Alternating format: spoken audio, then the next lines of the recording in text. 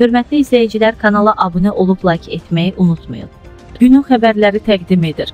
Azərbaycan Respublikası Hərbi Prokurorluğunun İstintaq İdarəsində istintaq olunan cinayət işi üzrə müvafiq əməlləri törətməsinə əsaslı şübhələr olan Müdafiə Nazirliyinin Hərbi Hava Qüvvələrinin ən saylı hərbi hissəsinin yanacaq sürtkü materialları, xidmətinin rəisi Kapitan Həsənov Ülvi Bəxtiyaroğluna Azərbaycan Respublikası Cinayət Məcəlləsinin 179, 3, 2-ci, 341, 1-ci və digər maddələri ilə ittiham elan edilmiş. Azərbaycan Respublikası Hərbi Prokurorluğunun təqdimatına əsasən Bakı Hərbi Məhkəməsinin qərarı ilə barəsində həbs qətimkan tədbiri seçilmişdir.